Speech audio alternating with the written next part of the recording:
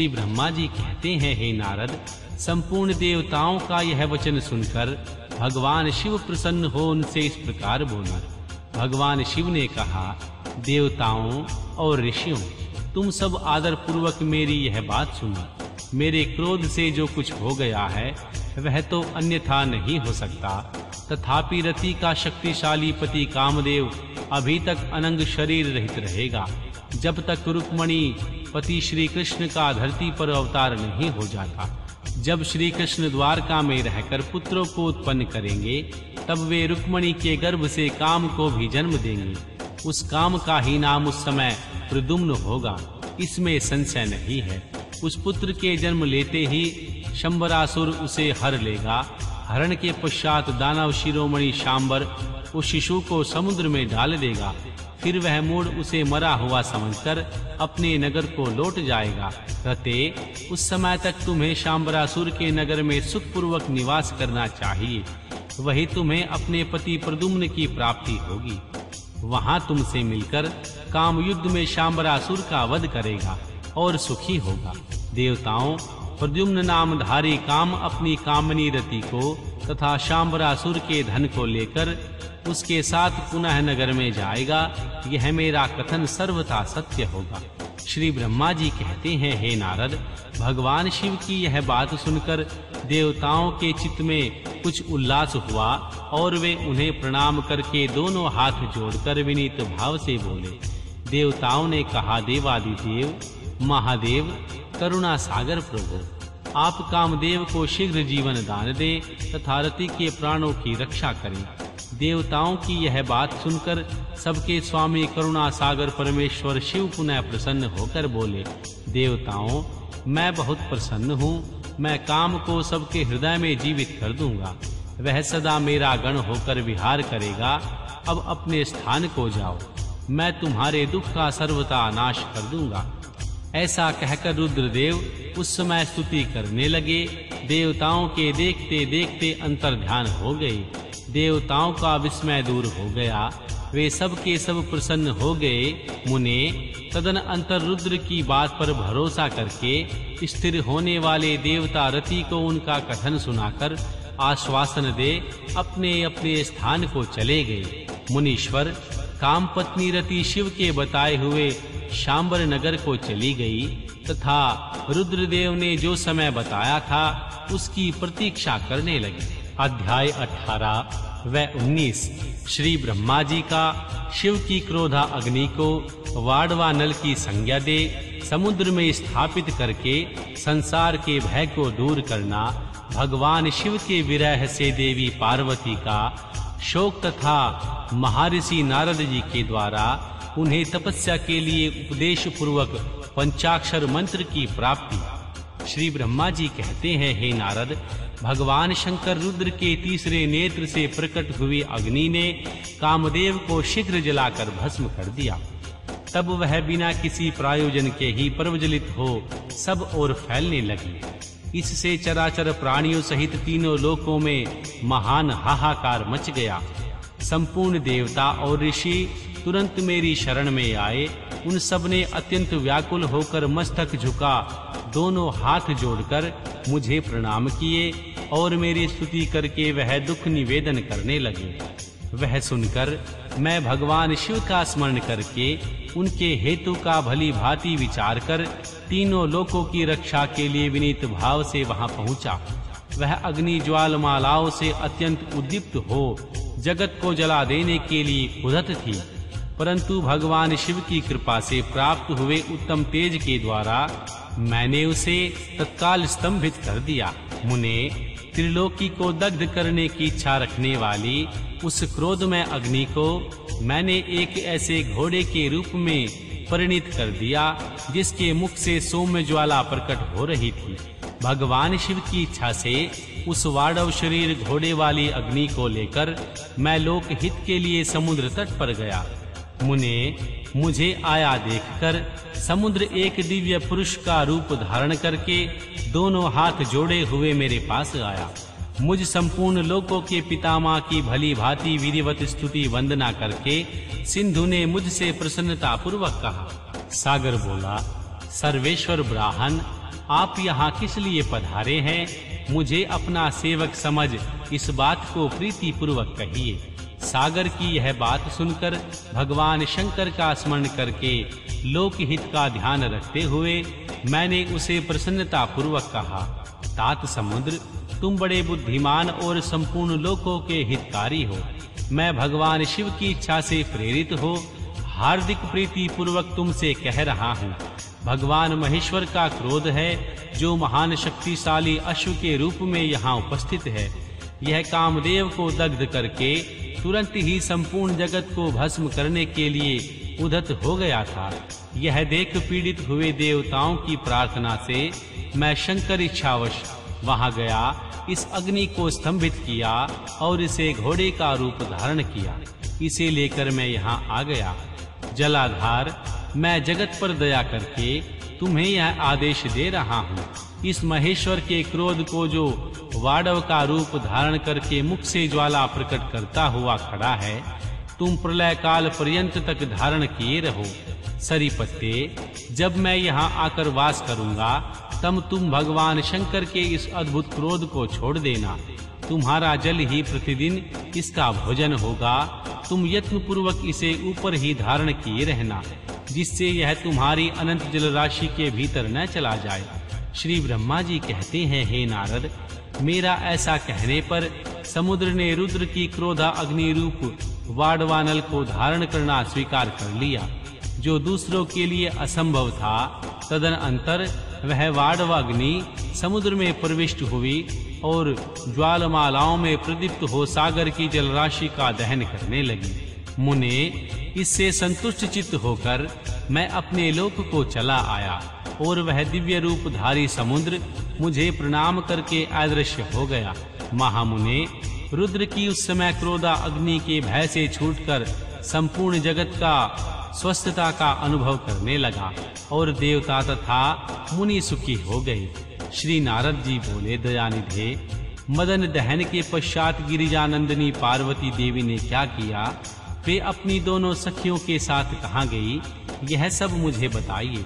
श्री ब्रह्मा जी ने कहा, भगवान शंकर के नेत्र से उत्पन्न हुई आग ने जब कामदेव को दग्ध किया, तब वहाँ अद्भुत शब्द प्रकट हुआ, जिससे सारा आकाश गूंज उठा।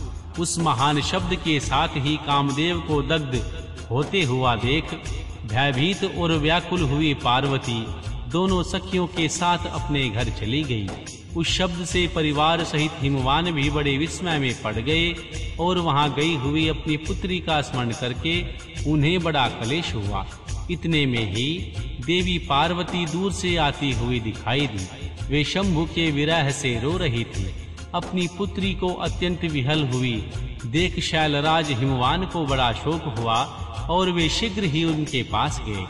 फिर वे हाथ से उनकी दोनों आँखें पोंछकर बोले, शिवे, डरो मत, रो मत। ऐसा कहकर अचलेश्वर हिमवान ने अत्यंत विहल हुए देवी पार्वती को शीघ्र ही गोद में उठा लिया और उसे सांत्वना देते हुए अपने घर ले आए। कामदेव का दाह करके महादेव जी अदृश्य हो गए थे। अतः उनके विरह से पार्वती अत्यंत व्याकुल हो उठी। उन्हें कहीं भी सुख या शांति नहीं मिलती थी। पिता के घर रहकर जब वे अपनी माता से मिली, उस समय पार्वती शिवा ने अपना नया जन्म हुआ माना। वे अपने रूप की निंदा करने लगी और बोली, हाय, मैं मारी गई। सखियों के समझाने पर भी वे गिरिराज कुमारी कुछ समझ नहीं पाती थी। वे सोते, जागते, खाते, पीते, नहाते, धोते, चलते, फिरते और सखियों के बीच में खड़े होते भी कभी किंचन मात्र भी सुख का अनुभव नहीं करती थी। मेरे स्वरूप को तथा जन्म कर्म को धिकार है, ऐसा कहती हुई वे सदा महादेव जी की प्रत्येक चेष्टा का चिंतन करती थी।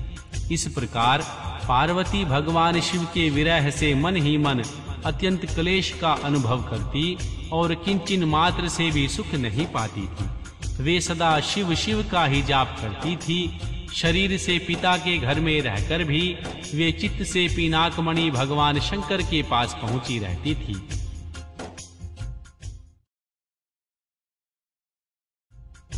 शिवा शोक मग्न हो बारंबार मूर्छित हो जाती थी। शैलराज हिमवान, उनकी पत्नी मेनका तथा उनके मैनाक आदि सभी पुत्र जो बड़े उदार चेता थे, उन्हें सदा सात्वना देते रहते थे। तथापि वे भगवान शंकर को भूल न सकी। बुद्धिमान देव ऋषि, तदन अंतर एक दिन इंद्र की प्रेरणा से इच्छानुसार घूमते हुए तुम हिमालय पर्वत पर आए। उस समय महात्मा हिमवान ने तुम्हारा स्वागत सत्कार किया और कुशल मंगल कारण पूछा। फिर तुम उनके दिए हुए उत्तम स्थान पर बैठे। तदन अंतर शैलराज ने अपनी कन्या के चरित्र का आरंभ से ही वर्णन किया। जिस तरह उन्होंने महादेव जी की सेवा आरंभ की और जिस तरह उनके द्वारा कामदेव का दहन हुआ, यह सब कुछ बताया। मुने, यह सब सुनकर तुमने गिरिराज से कहा, शालेश्वर, भगवान शिव का भजन करो। फिर उनसे विदा लेकर तुम उठे और मन ही मन शिव का स्मरण करके शैलराज को छोड़ शीघ्र ही एकांत में काली के पास गए। मुने, तुम लोकोपकारी, ज्ञानी तथा शिव के प्रिय भक्त हो। समस्त ज्ञानवानों के शिरोमणि हो। अतः काली के पास आ उसे संबोधित करके उसी के हित में स्थित हो, उसे सादर यह सत्य वचन बोले। महर्षि नारद जी, तुमने कहा काली के, तुम मेरी बात सुनो। मैं दयावश सच्ची बात कह रहा हूँ। मेरा वचन तुम्हारे लिए सर्वथा हित कर ही होगा। निर्दोष तथा उत्तम काम्य वस्तुओं को देने वाला होगा। तुमने यहाँ महादेव जी की सेवा अवश्य की थी, परंतु वह बिना किसी तपस्या के गर्वयुक्त होकर की थी। दीनों पर अनुग्रह करने वाले शिव ने तुम्हारे उसी गर्व को नष्ट किया है। शिवे, तुम्हारे स्वामी महेश्वर विरक्त और महायोगी हैं। उन्होंने केवल कामदेव को जलाकर जो तुम्हें शकुशल छोड़ दिया है उसमें यही कारण है कि वे भगवान भक्त वत्सल हैं। अतः तुम उत्तम तपस्या में संलग्न हो चिरकाल तक महेश्वर की आराधना करो। तपस्या से तुम्हारा संस्कार हो जाने पर रुद्रदेव तुम्हें अपनी सहधर्मिणी बनाएँगे। तुम भी कभी उन कल्याणकारी शंभु का परित्याग नहीं करोगी। देवी, तुम हट पूर्वक शिव को अपनाने का यत्न करो। शिव के सिवा दूसरे किसी को अपना पति स्वीकार न करना। श्री ब्रह्मा जी कहते हैं मुने, तुम्हारी यह बात सुनकर गिरिराज कुमारी काली कुछ उल्लासित हो तुमसे हाथ जोड़कर प्रसन्नता पूर्वक बोली शिवा ने कहा, प्रभु, आप सर्वज्ञ तथा जगत का उपकार करने वाले हैं। मुने, मुझे रुद्रदेव की आराधना के लिए कोई मंत्र दीजिए। श्री ब्रह्मा जी कहते हैं, हे नारद, पार्वती देवी का यह वचन सुनकर तुमने पंचाक्षर शिव मंत्र नमः शिवाय का उन्हें विधि पूर्वक उपदेश दिया। साथ ही उस मंत्र राज में श्रद्धा उत्पन्न करने के लिए तुमने उनका सबसे अधिक प्रभाव बताया। हे नारद, तुम बोले, देवी इस मंत्र का परम अद्भुत प्रभाव सुनो। इसके सुनने मात्र से भगवान शंकर प्रसन्न हो जाते हैं। यह मंत्र सब मंत्रों का राजा और मनोवांछित फल को देने वाला है। भगवान शंकर को बहुत ही प्रिय है तथा साधक को भोग और मोक्ष देने में समर्थ है। सौभाग्यशालिनी, इस मंत्र का विधि पूर्वक जाप करने से तुम्हारे द्वारा आधारित हुए भगवान शिव अवश्य और शीघ्र ही तुम्हारी आँखों के सामने प्रकट हो जाएँगे। शिवे, सोच संतोष आदि नियमों में तत्पर रहकर भगवान शिव के स्वरूप का चिंतन करती हुई तुम पंचाक्षर मंत्र का जाप करो। इससे आराध्य देव शिव शीघ्र ही संतुष्ट होंगे। साध्वी, इस तरह तपस्या करो। तपस्या से महेश्वर वश में हो सकते हैं। तपस्या से ही सबको मनोवांछित फल की प्राप्ति होती है। अन्यथा नहीं, श्री ब्रह्मा जी कहते हैं, हे नारद, तुम भगवान शिव के प्रिय भक्त हो और इच्छानुसार विचरने वाले हो। तुमने काली से उपयुक्त बात कहकर देवताओं के हित में तत्पर हो।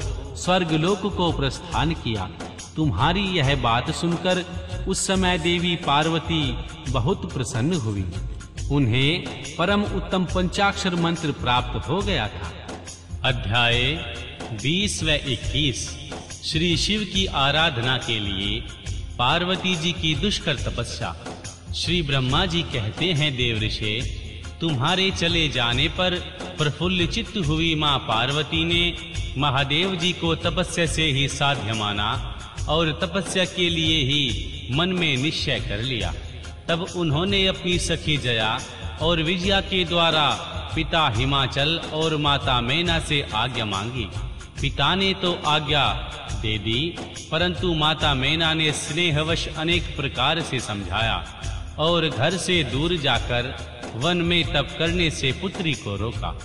मैना ने तपस्या के लिए वन में जाने से रोकते हुए उमा बाहर न जाओ, ऐसा कहकर उस समय शिवा का नाम उमा हो गया। मुने, शैलराज की प्यारी पत्नी मैना ने रोकने से शिवा को दुखी हुई जान अपना विचार बदल दिया और माँ पार्वती को तपस्या के लिए जाने की आज्ञा दे दी। मुनि श्रेष्ठ, माता की वह आज्ञा पाकर उत्तम व्रत का पालन करने वाली देवी पार्वती ने भगवान शंकर का स्मरण करके अपने मन में बड़े सुख का अनुभव किया। माता पिता को प्रसन्नता पूर्वक प्रणाम करके भगवान शिव के स्मरण पूर्वक दोनों सखियों के साथ वे तपस्या करने के लिए चली। अनेक प्रकार के प्रिय वस्त्रों का परित्याग करके माँ पार्वती ने कटी प्रदेश में सुंदर मूंज की मेघला बाँध शीघ्र ही वकल धारण कर लिया। हार का परिहार करके उत्तम मृग चरम को हृदय से लगाया। तत्पश्चात वे तपस्या के लिए गंगा अवतरण गंगोत्री तीर्थ की ओर चली। जहाँ ध्यान लगाते हुए भगवान शंकर ने कामदेव को दग्ध किया था। हिमालय का वह शिखर गंगा अवतरण के नाम से प्रसिद्ध है। वहीं पर उत्तम श्रृंगी तीर्थ में पार्वती ने तपस्या प्रारंभ की। गौरी के तप करने से उनका गौरी शिखर नाम हो गया। मुने, देवी शिवा ने अपने तप की परीक्षा के लिए वहाँ बहुत से सुंदर एवं पवित्र वृक्ष लगाए, जो फल देने वाले थे। सुंदरी पार्वती ने पहले भूमि शुद्ध करके वहाँ एक वेदी का निर्माण किया। तदन अंतर ऐसी तपस्या आरंभ की, जो मुनियों के लिए भी दुष्कर थी। वे मन सहित संपूर्ण इंद्रियों को शीघ्र ही काबू में करके उस वेदी पर उच्च कोटि की तपस्या करने लगी। ग्रीष्म काल में अपने चारों ओर दिन रात आग जलाए रखकर वो बीच में बैठती और निरंतर पंचाक्षर मंत्र का जाप करती रहती। वर्षा ऋतु में वेदी पर सुस्थिर आसन से बैठकर अथवा किसी पत्थर की चट्टान पर ही आसन लगाकर वे निरंतर वर्षा की जलधारा से भीगती रहती थी।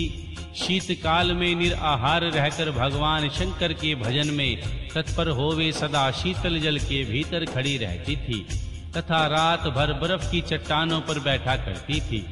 इस प्रकार तप करती हुई पंचाक्षर मंत्र के जाप में संलग्न हो देवी शिवा, संपूर्ण मनोवांछित फलों के दाता भगवान शिव का ध्यान करती थी। प्रतिदिन अवकाश मिलने पर वे सखियों के साथ अपने लगाए हुए वृक्षों को प्रसन्नता पूर्वक सींचती और वहाँ पधारे हुए अतिथि का आतिथ्य सत्कार भी करती थी। शुद्ध चित्त वाली माँ पार्वती ने प्रचंड आंधी, कड़ाके की सर्दी, अनेक प्रकार की वर्षा तथा दुस्साह धूप का भी सेवन किया। उनके ऊपर वहाँ नाना प्रकार के दुख आए, परंतु उन्होंने उन सबको कुछ नहीं गिना। हे मुने, वे केवल भगवान शिव में मन लगाकर वहाँ सुस्थिर भाव से खड़ी या बैठी रहती थी। उनका पहला वर्ष फलाहार में बीता और दूसरा वर्ष उन्होंने केवल पत्ते चबाकर बिताया। इस तरह तपस्या करती हुई देवी पार्वती ने क्रमशः असंख्य वर्ष व्यतीत कर दिए। तदन अंतर हिमवान की पुत्री शिवा देवी पत्ते खाना भी छोड़कर सर्वथा निराहार रहने लगी। तो भी तपश्चर्या में उनका अनुराग बढ़ता ही गया। हिमाचल पुत्री शिवा ने भोजन के लिए पर्ण का भी परित्याग कर दिया। इसलिए देवताओं ने उसका नाम अपर्णा रख दिया। इसके बाद माँ पार्वती, भगवान शिव के स्मरण पूर्वक एक पैर से खड़ी हो, पंचाक्षर मंत्र का जाप करती हुई बड़ी भारी तपस्या करने लगी। उनके अंग चीर और वक्कल से ढके थे। वे मस्तक पर जटाओं का समूह धारण करके रहती थी। इस प्रकार भगवान शिव के चिंतन में लगी हुई देवी पार्वती अपनी तपस्या के द्वारा मुनियों को भी जीत लिया। उस तपोवन में महेश्वर के चिंतन पूर्वक तपस्या करती हुई काली के तीन हज़ार वर्ष व्यतीत हो गए। तदनंतर जहाँ महादेव जी ने साठ हज़ार वर्षों तक तप किया था, उस स्थान पर क्षण भर ठहर कर शिवा देवी इस प्रकार चिंता करने लगी। क्या महादेव जी, इस समय यहाँ नहीं जानते, मैं उनके नियमों के पालन में तत्पर हो तपस्या कर रही हूँ। फिर क्या कारण है? सुदीर्घ काल से तपस्या में लगी हुई मुझ सेविका के पास वो नहीं आए।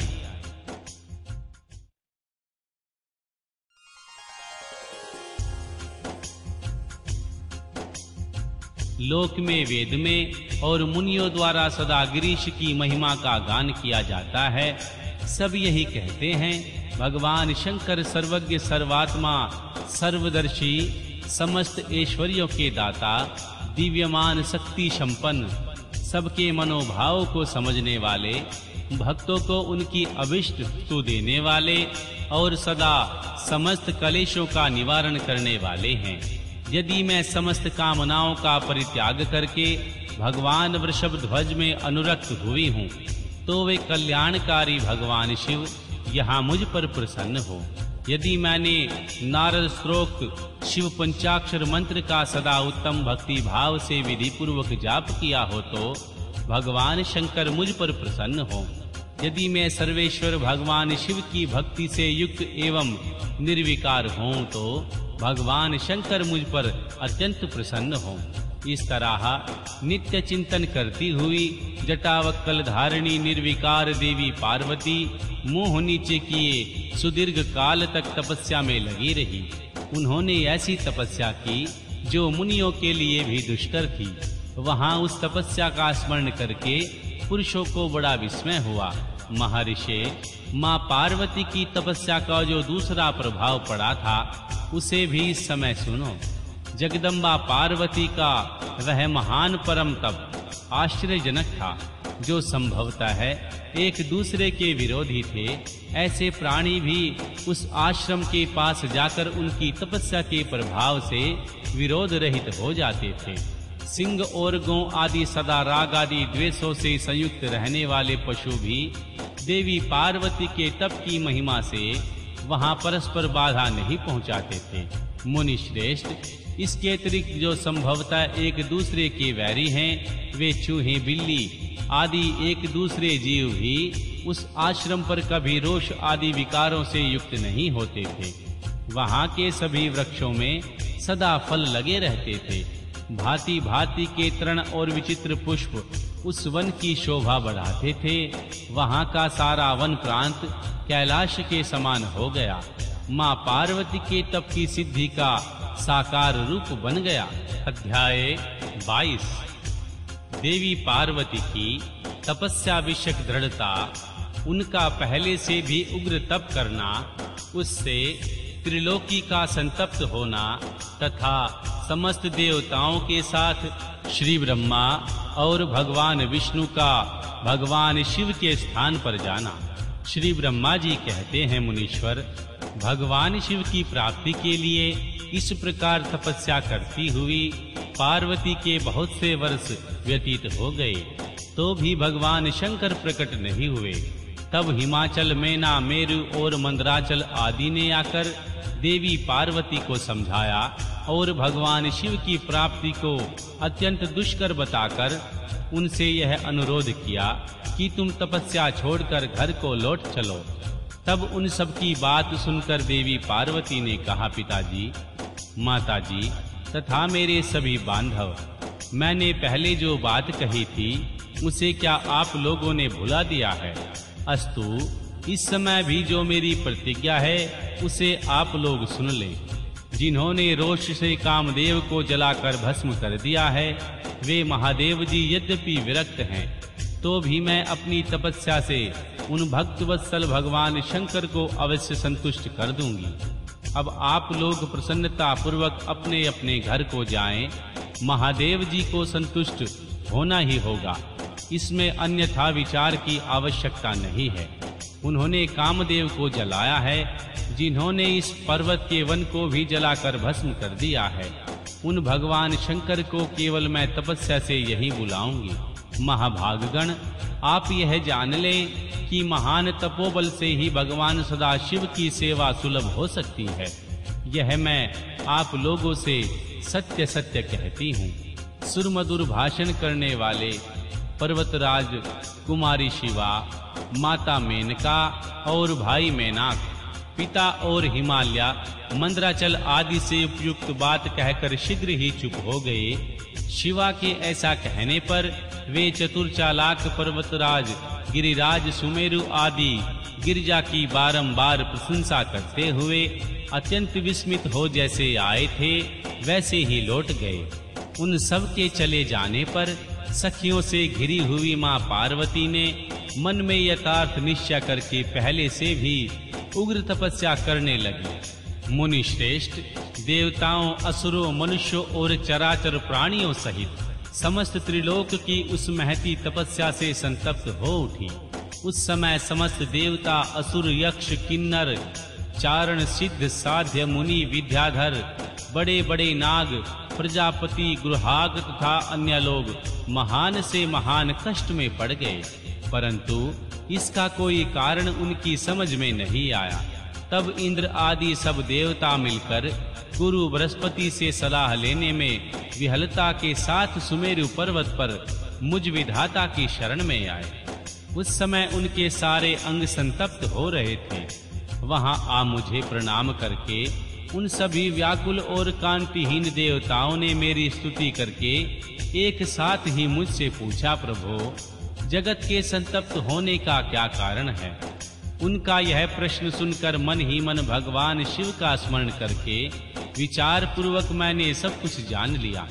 इस समय विश्व में जो दाह उत्पन्न हो गया है, वह गिरजा की तपस्या का फल है।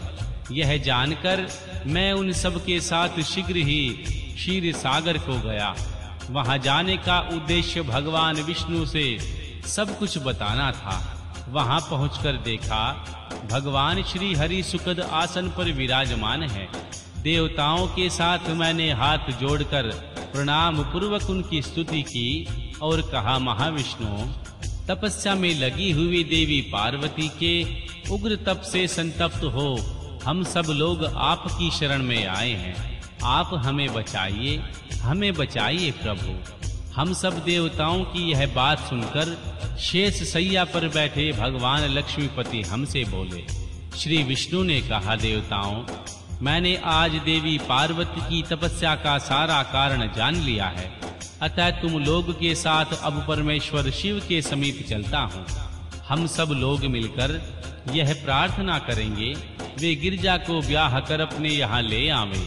अमरो इस समय समस्त संसार के कल्याण के लिए भगवान शिव के पानी ग्रहण के लिए अनुरोध करेंगे।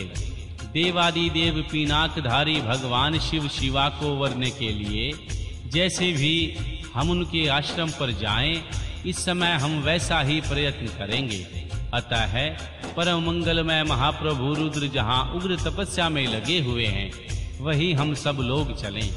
भगवान विष्णु की यह बात सुनकर समस्त देवता आदि हटी क्रोधी और जलाने के लिए उदत रहने वाले प्रलंकर रुद्र से अत्यंत भयभीत होकर बोले, देवताओं ने कहा, भगवान, जो महाभयंकर काला अग्नि के समान दीप्तिमान और भयानक नेत्रों से युक्त है, उन रोष भरे महाप्रभु रुद्र के पास हम लोग नहीं जा सकेंगे, क्योंकि उन्होंने पहले कुपित हो दुर्जय काम को भी जला दिया है। उसी प्रकार वे हमें भी दग्ध कर डालेंगे। इसमें संशय नहीं। मुने इंद्रादि देवताओं की बात सुनकर लक्ष्मीपति श्री हरि ने उन सबको सात्वना देते हुए कहा श्री हरि बोले हे देवताओं तुम सब लोग प्रेम और आदर के साथ मेरी बात सुनो। भगवान स्वामी है उन और फिर जागृत में कहते होने वाले हैं वे तुम्हें दग्ध नहीं करेंगे। तुम सब लोग बड़े चतुर हो। अतः तुम्हें शंभु को कल्याणकारी मानकर हमारे साथ उत्तम प्रभु उन महादेव जी की शरण में चलना चाहिए। भगवान श्री शिव पुरुष, सर्वेश्वर वर्णीय परा तत्पर तपस्वी और परमात्मा स्वरूप हैं। अतः हमें उनकी शरण में अवश्य चलना चाहिए। प्रभावशाली श्री विष्णु के ऐसा कहने पर सब देवता उनके साथ पीनाकमणि भगवान शिव का दर्शन के लिए चल पड़े। मार्ग में देवी पार्वती का आश्रम पहले पड़ता था, अतः उन गिरजानंदनी की तपस्या देखने के लिए विष्णु आदि सब देवता कौतूहल पूर्वक उनके आश्रम पर गए। देवी पार्वती के श्रेष्ठ तप को देखकर उन सब देवता उनके उत्तम तेज से व्याप्त हो गए। उन्होंने तपस्या में लगी हुई उन तेजोमयी माँ जगदम्बा को नमस्कार किया और साक्षात सिद्ध स्वरूपा शिवा देवी के तप की भू सेवने वाला संसार रूप बंधन से कभी मुक्त नहीं होता। वे सब देवता उस स्थान पर गए जहाँ भगवान वृषभध्वज विराजमान थे। मुने वहाँ पहुंचकर सब देवताओं ने पहले तुम्हें उनके पास भेजा और स्वयं वे मदन दहनकारी भगवान हर से दूर ही खड़े रहे। वे वहीं से यह देख बधिक ममता के रूप बांधव ही पैरों की जंजीर और अंध नारद तुम तो सदा निर्भय रहने वाले और विशेषतः शिव के भक्त हो। अतः तुमने भगवान शिव के स्थान पर जाकर उन्हें सर्वथा प्रसन्न देखा। फिर वहाँ से लौटकर तुम श्री विष्णु आदि सब देवताओं को भगवान शिव के स्थान पर ले गए। और वहाँ पहुंचकर श्री विष्णु आदि सब देवताओं ने भक्त वत्सल भगवान शिव सुखपूर्वक प्रसन्न अध्याय तेईस। देवताओं का भगवान शिव से माँ पार्वती के साथ विवाह करने का अनुरोध, भगवान का विवाह के दोष बताकर अस्वीकार करना तथा उनके पुनः प्रार्थना करने पर स्वीकार कर लेना। श्री ब्रह्मा जी कहते हैं, हे नारद, देवताओं ने वहाँ पहुंचकर भगवान रुद्र को प्रणाम करके उनकी स्तुति की। तब नंदिकेश्वर ने भगवान शिव से उनकी दीन बंधुता एवं भक्त वत्सलता की प्रशंसा करते हुए कहा, प्रभु देवता और मुनि संकट में पड़कर आपकी शरण में आए हैं। सर्वेश्वर, आप उनका उद्धार करें। दयालु नंदी के इस प्रकार सूचित करने पर भगवान शंभु धीरे धीरे आँखें खोलते हैं। समाधि से विरत हो परम ज्ञानी परमात्मा एवं ईश्वर शंभु ने समस्त देवताओं से इस प्रकार कहा। शंभु बोले, श्री विष्णु और श्री ब्रह्मा आदि सभी देवता और देवेश्वरों, तुम सब लोग मेरे समीप कैसे आए हो? तुमने अपने आने का जो भी कारण हो, वह शीघ्र बताओ। भगवान शंकर का यह वचन सुनकर सब देवता प्रसन्न हो, कारण बताने के लिए भगवान विष्णु के मुँह की ओर देखने लगे। तब भगवान शिव के महान भक्त और देवताओं के हितकारी श्री विष्णु मेरे बताए हुए देवताओं के महत्तर कार्य को सूचित करने लगे। उन्होंने कहा, शंभु, तारकासुर ने देवताओं को अत्यंत अद्भुत एवं महान कष्ट प्रदान किए हैं। यही बताने के लिए सब देवता यहाँ आए हैं। भगवान, आपके ओरस पुत्र से ही तारक दैत्य मारा जा सकेगा, और किसी प्रकार से नहीं। यह मेरा कथन सर्वथा सत्य है। हे महादेव इस प्रकार विचार करके आप कृपा करें। आपको नमस्कार है, स्वामिन। तारकासुर के द्वारा उपस्थित किए गए इस कष्ट से आप देवताओं का उद्धार कीजिए। देव शंभो, आप दाहिने हाथ से गिरजा का पानी ग्रहण करके गिरिराज हिमवान के द्वारा दी हुई महानुभावा देवी पार्वती को पानी ग्रहण के द्वारा ही अनुग्रहित कीजिए। श्री विष्णु का यह वचन सुनकर योग पारायण भगवान शिव ने उन सबको उत्तम गति का दर्शन कराते हुए इस प्रकार कहा, देवताओं, जो ही मैंने सर्वांग सुंदरी गिरजा देवी को स्वीकार किया, त्यों ही समस्त सुरेश्वर तथा ऋषि मुनि सकाम हो जाएँगे। फिर तो वे परमार्थ पथ पर चलने में समर्थ नहीं हो सकेंगे। दुर्गा अपने पाणी ग्रहण मात्र से ही कामदेव को जीवित कर देगी। हे विष्णु, मैंने कामदेव को जलाकर देवताओं का बहुत बड़ा कार्य सिद्ध किया है। आज से सब लोग मेरे साथ सुनिश्चित रूप से निष्काम होकर रहो। देवताओं, जैसे मैं हूँ, उसी तरह तुम सब लोग पृथक पृथक रहकर कोई विशेष प्रयत्न किए बिना ही अत्यंत दुष्कर एवं उत्तम तपस्या कर सकोगे।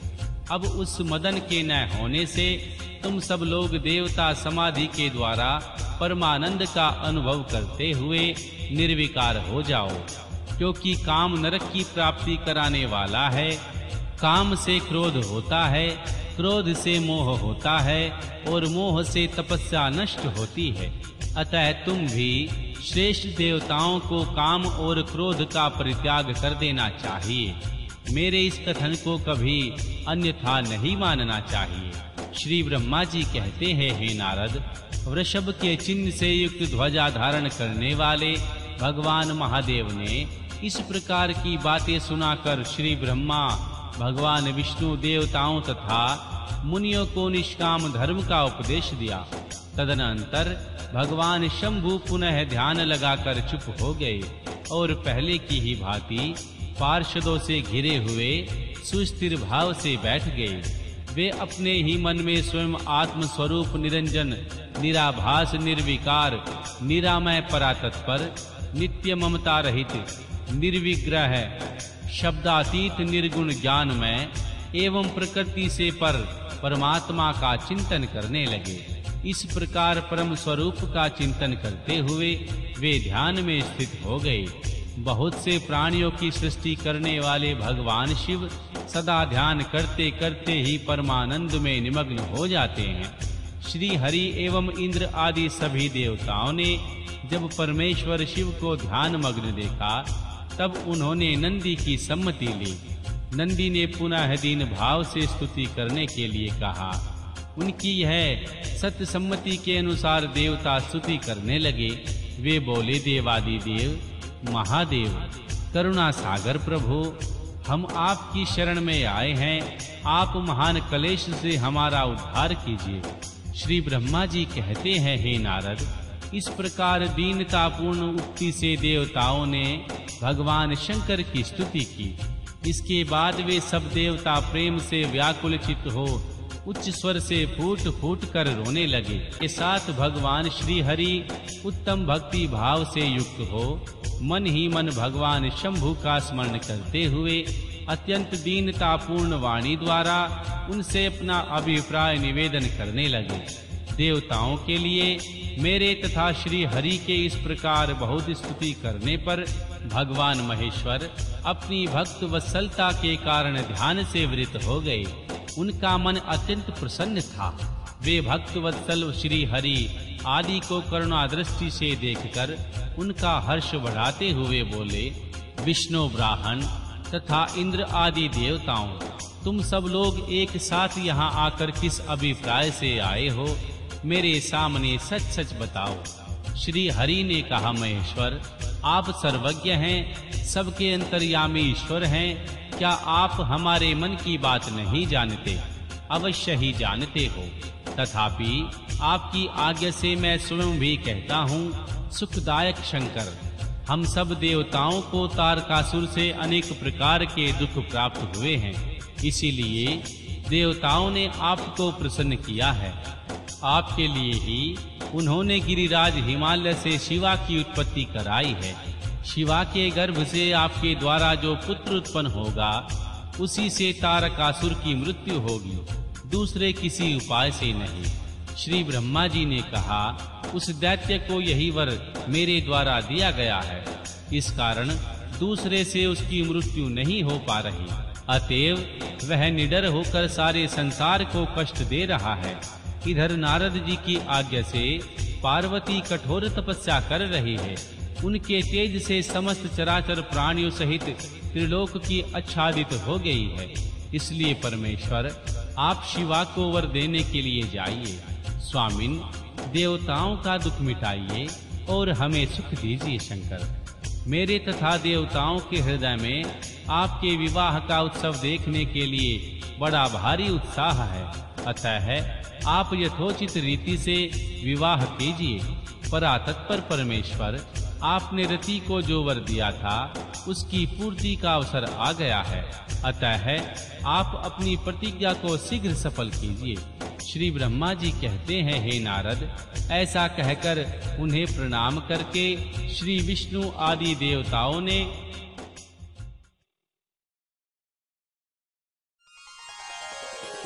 अध्याय 24 भगवान शिव की आज्ञा से सप्त ऋषियों का देवी पार्वती के आश्रम पर जा, उनके शिव विषयक अनुराग की परीक्षा करना और भगवान को सब वृतांत बताकर स्वर्ग को जाना।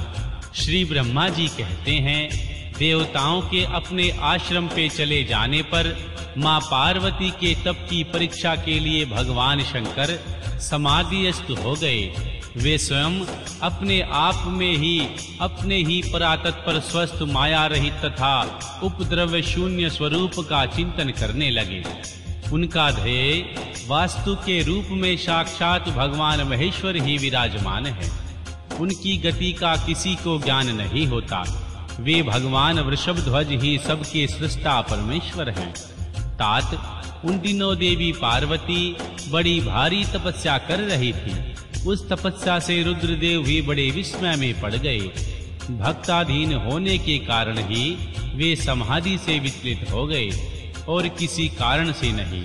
तदन अंतर सृष्टिकर्ता हर ने वशिष्ठ आदि सप्तऋषियों का स्मरण किया। उनके स्मरण करते ही वे सातों ऋषि शीघ्र वहाँ आ पहुँचे। उनके मुख पर प्रसन्नता छा रही थी तथा वे सब के सब अपने सौभाग्य की अधिक सराहना कर रहे थे। उन्हें आया देख। भगवान शिव के नेत्र प्रसन्नता से प्रफुल्ल हो कमल के समान खिल उठे और वे हँसते हुए बोले, सप्त ऋषियों, तुम सब लोग मेरे हितकारी तथा संपूर्ण वस्तुओं के ज्ञान में निपुण हो। अतः है शीघ्र मेरी बात सुनो। गिरजा कुमारी देवेश्वरी देवी पार्वती इस समय सुस्थिरचित हो गौरी शिखर नामक पर्वत पर तपस्या कर रही है। मुझे पति रूप में प्राप्त करना ही उनकी तपस्या का उद्देश्य है। द्विजो, इस समय केवल सखियाँ उसकी सेवा में है। मेरे सिवा दूसरी समस्त कामनाओं का परित्याग करके वे एक उत्तम निश्चय पर पहुँच चुकी हैं। मुनीश्वरों, तुम सब लोग मेरी आज्ञा से वहाँ जाओ और प्रेम पूर्वक हृदय से उनकी दृढ़ता की परीक्षा करो। वहाँ तुम्हें सर्वतः छल युक्त बातें कहनी चाहिए। उत्तम वृद्धारी महर्षियों, मेरी आज्ञा से ऐसा करना है, इसलिए तुम्हें संशय नहीं करना चाहिए। भगवान शंकर की आज्ञा पाकर वे सातों ऋषि तुरंत ही उस स्थान पर जा पहुँचे, जहाँ दीप्तिमती जगन्न माता पार्वती विराजमान थी। सप्तऋषियों ने वहाँ शिवा को तपस्या की मूर्तिमयी दूसरी सिद्धि के समान देखा। उनका तेज महान था। वे अपने उत्तम तेज से प्रकाशित हो रही थी। उन उत्तम व्रतधारी सप्तऋषियों ने मन ही मन उन्हें प्रणाम किया और उनके विशेषतः पूजित हो होवे मस्तक झुकाए इस प्रकार बोले। सप्तऋषियों ने कहा, हे देवी गिरजा नंदिनी हमारी यह बात सुनो। हम जानना चाहते हैं कि तुम किसके लिए तपस्या कर रही हो तथा इसके द्वारा किस देवता को और किस फल को पाना चाहती हो? उन द्विजों के द्वारा इस प्रकार पूछने पर गिरिराज कुमारी देवी शिवा ने उनके सामने अत्यंत गोपनीय होने पर भी सच्ची बात बताई। देवी पार्वती बोली, मुनीश्वरों, आप लोग प्रसन्नता पूर्वक हृदय से मेरी बात सुने मैंने अपनी बुद्धि से जिनका चिंतन किया है, वह अपना विचार मैं आपके सामने रखती हूँ। आप लोग असंभव बातें सुनकर मेरा उपहास करेंगे, इसलिए उन्हें कहने में संकोच ही होता है, तथापि फिर भी कहती हूँ, क्या करूँ? मेरा यह मन अत्यंत दृढ़ता पूर्वक एक उत्कृष्ट कर्म के अनुष्ठान में लग गया है और ऐसा करने के लिए विवश हो गया है। यह पानी के ऊपर बहुत बड़ी दीवार खड़ी करना चाहता है। देव ऋषि का उपदेश पाकर मैं भगवान रुद्र मेरे पति हूँ। इस मनोरथ को मन में लिए अत्यंत कठोर तप कर रही हूँ। मेरा मन रूपी पक्षी बिना पंख के ही हट पूर्वक आकाश में उड़ रहा है। मेरे स्वामी करुणा निधान भगवान शंकर ही इसके इस आशा की पूर्ति कर सकते हैं। देवी पार्वती का यह वचन सुनकर वे मुनि हंस पड़े और गिरजा का सम्मान करते हुए प्रसन्नता पूर्वक छलयुक्त मिथ्या वचन बोले। ऋषियों ने कहा, गिरिजा नंदिनी, देव ऋषि नारद व्यर्थ ही अपने को पंडित मानते हैं। उनके मन में क्रूरता भरी रहती है। आप समझदार होकर भी क्या उनके चरित्र को नहीं जानती? नारद छल कपट की बातें करते हैं और दूसरों के चित्त को मोह में डालकर मत डालते हैं। उनकी बातें सुनने में सर्वथा हानि ही होती है। ब्रह्मपुत्र दक्ष के पुत्रों को नारद ने जो छल पूर्वक उपदेश दिया था, उसका फल यह हुआ, वे सब के सब अपने पिता के घर लौटकर न आ सके। यही हाल उन्होंने दक्ष के दूसरे पुत्रों का भी किया। वे भी उनके चक्कर में आकर भिखारी बन गए। विद्याधर चित्रकेतु को उन्होंने ऐसा उपदेश दिया, उसका घर ही उजड़ गया। प्रहलाद को अपना चेला बनाकर उन्होंने हिरण्याकशिपु से बड़े-बड़े दुख दिलवाए। वे सदा दूसरों की बुद्धि में भेद पैदा किया करते हैं। नारद मुनि, कानों को पसंद आने वाली अपनी जिस विद्या से जिसको सुना देते हैं, वही अपना घर छोड़कर तत्काल भीख मांगने वाला हो जाता है। उसका मन मलिन है केवल शरीर ही सदा उज्जवल दिखाई देता है। हम उन्हें विशेष रूप से जानते हैं, क्योंकि उनके साथ रहते हैं। उनका उपदेश पाकर बड़े-बड़े विद्वानों द्वारा सम्मानित होने वाली तुम भी व्यर्थ ही भुलावे में आ गई और मूर्ख बनकर दुष्कर तपस्या करने लगी। बाले, तुम जिनके लिए यह भारी तपस्या कर रही हो, वे रुद्र सदा उदासीन निर्विकार तथा काम के शत्रु हैं। इसमें संशय नहीं है। वे अमंगलिक वस्तुओं से युक्त शरीर धारण करते हैं। लज्जा को तिलांजलि दे चुके हैं। उनका न कहीं घर है, न कहीं द्वार है। वे किस कुल में उत्पन्न हुए हैं, इसका भी किसी को पता नहीं है। कुत्सित वेश धारण किए, भूतों तथा प्रेतों के आदि के साथ नंग धड़ंग हो शूल धारण किए घूमते हैं। धूर्त नारद ने अपनी माया से तुम्हें सारे विज्ञान को नष्ट कर दिया है। युक्ति से तुम्हें मोह लिया है और तुमसे तप करवाया है। देवेश्वरी गिरजा नंदनी तुम ही विचार करो कि ऐसे वर को पाकर तुम्हें क्या सुख मिलेगा। पहले रुद्र ने बुद्धि से खूब सोच विचार कर साध्वी सती से विवाह किया, परंतु वे ऐसे मूढ़ हैं कि कुछ दिन भी उनका विवाह निभा न सके।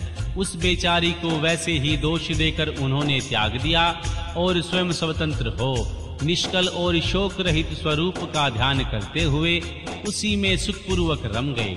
देवी, जो सदा अकेले रहने वाले शांत, संग्रहित और अद्वितीय हैं, उनके साथ किसी स्त्री का निर्वाह कैसे होगा?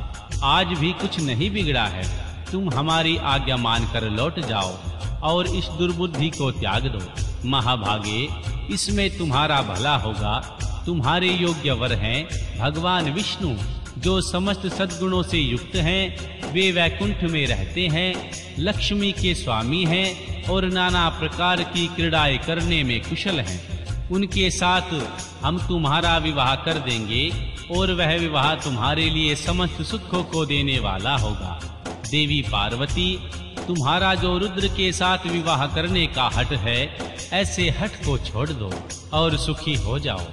श्री ब्रह्मा जी कहते हैं, हे नारद, उनकी ऐसी बात सुनकर जगदम्बिका माँ पार्वती हंस पड़ी और पुनः है उन ज्ञान विशारद मुनियों से बोली, देवी पार्वती ने कहा, मुनीश्वरों, आपने अपनी समझ से ठीक ही कहा है, परंतु द्विजो, मेरा हट भी छूटने वाला नहीं है। मेरा शरीर पर्वत से उत्पन्न होने के कारण मुझमें स्वाभाविक कठोरता विद्यमान है। अपनी बुद्धि से ऐसा विचार कर आप लोग मुझे तपस्या से रोकने का कष्ट न करें। देव ऋषि का उपदेश वाक्य मेरे लिए परम हितकर है, इसलिए मैं उसे कभी नहीं छोड़ूँगी। वेदवेता भी यह जानते हैं कि गुरुजनों का वचन हितकर होता है। गुरुओं का वचन सत्य होता है, ऐसा जिनका दृढ़ विचार है, उन्हें इस लोक और परलोक में परम सुख की प्राप्ति होती है, और दुख कभी नहीं होता। गुरुओं का वचन सत्य होता है, यह विचार जिनके हृदय में नहीं है, उन्हें इस लोक और परलोक में भी दुख ही प्राप्त होता है, सुख कभी नहीं मिलता। अतः द्विजो, गुरुओं के वचन का कभी किसी तरह भी त्याग नहीं करना चाहिए। मेरा घर बसे या उजड़ जाए, मुझे तो यह हट ही सदा सुख देने वाली लगती है।